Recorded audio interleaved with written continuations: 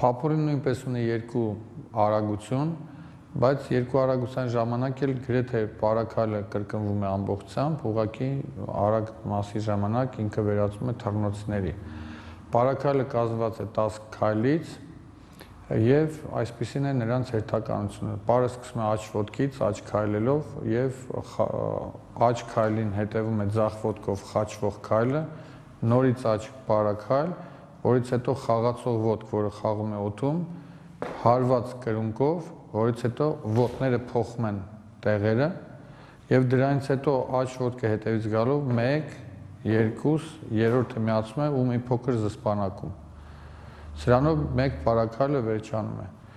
1 2 3 4 5 6 7 8 9 10 1 2 գնաց, ոտքերը փոխվեցին 1 2 3 ու մի զսպանակ 1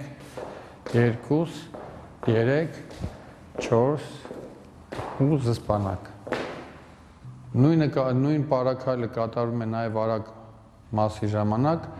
ուղակի մի տարբերությամբ որ այնտեղ պարակայլերը կատարվում են թռնոցիներով 1 2 3 4 5 6 7 8 9 10 1 3 4 5 6 7 8 9 10 2, 3, 4, 5, 6, 7, 8, 9, 10